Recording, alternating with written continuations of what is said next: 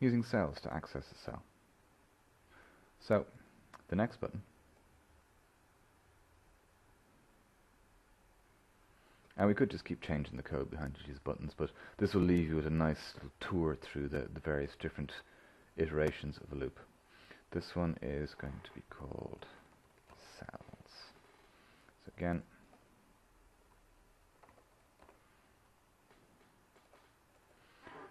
so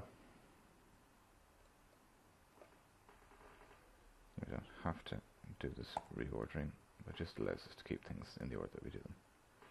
This instance, what I'm going to do is take a copy of our for, and I could use while just as easily. And just I'm going to use both, just so as we can see it. With what we're doing here, this range is, is fine if the lists are going down the sheet. The problem is the list is going across the sheet. The number isn't changing, the letter is. And where it is possible to write code to count A, B, C, D, E, F, and when we finally get as far as A, A, A, B, we could do that as well, it's awkward. So what I like to use more often for accessing specific cells on a sheet is not so much the range function here, or method, but cells. And cells takes two values, x, y location, if you want to think of it that way. But the question here is now, is that 5, 3 or 3, 5? and it's always the row first.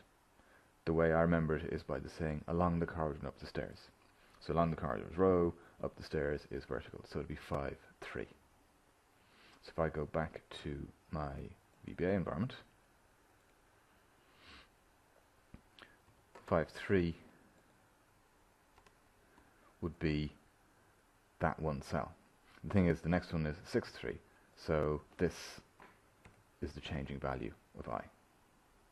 And if we try that,